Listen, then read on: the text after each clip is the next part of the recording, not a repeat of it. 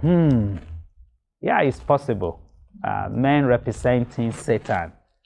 Welcome to today's DDRX. The prescription is Say a Blessing, Psalm 107, verse 2.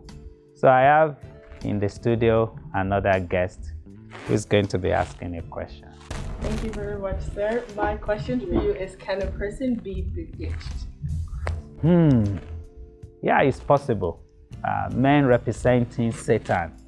Uh, we call them witch doctors. They are called by various names uh, in various nations. So they are experts at curses. Uh, we have what we call witchcraft coven. A coven is where witches gather together. The number varies, such as 13. No wonder today when you are in the elevator, public elevator, there's no 13th floor. so a witchcraft coven can be three or two. When they gather, they release a curse or a sentence or a verdict or a judgment against a person. But the fire of God can destroy them. Uh, there's an example of a king called Balak, king of Moab. He asked Balaam, a witch doctor, to pronounce a curse on the Israelites. Now, these are specialists of curses.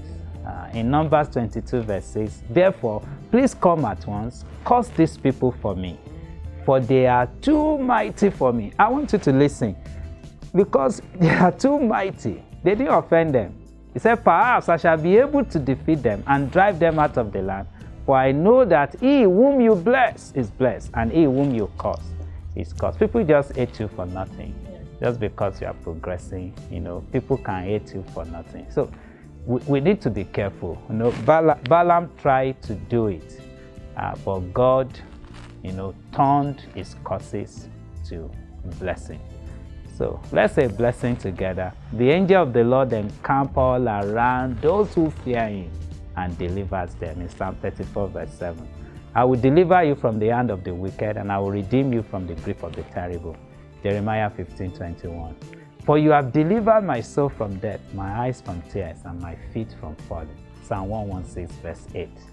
Thank you. God bless.